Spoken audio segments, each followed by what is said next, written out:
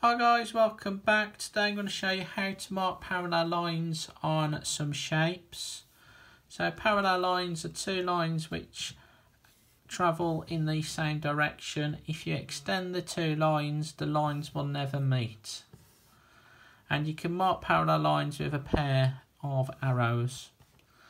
Okay, so let's have a look at the examples here. So we've got to mark the parallel lines with a pair of arrows.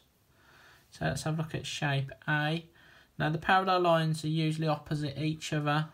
So it'll either be this pair or this pair here. Okay.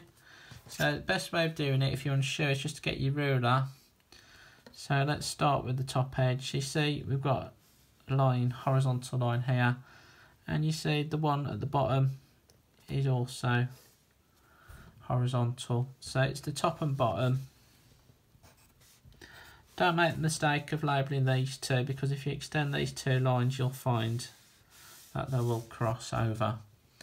Okay, so let's have a look at part B.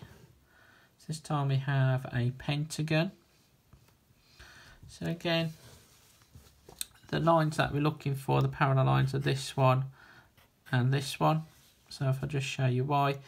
So if you put your ruler against that line, so it's heading that way, and if I just move it towards the other line you see it's heading the same way.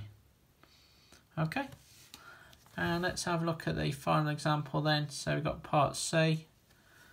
This time we have a parallelogram.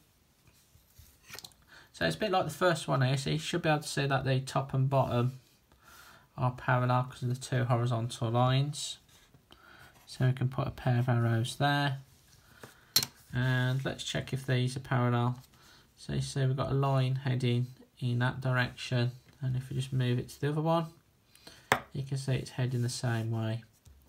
So we have a second pair of parallel lines. So we can mark these with a double arrow this time to show that they're different from the first pair. So if you like this video make sure you like and subscribe and I'll see you next time. Bye bye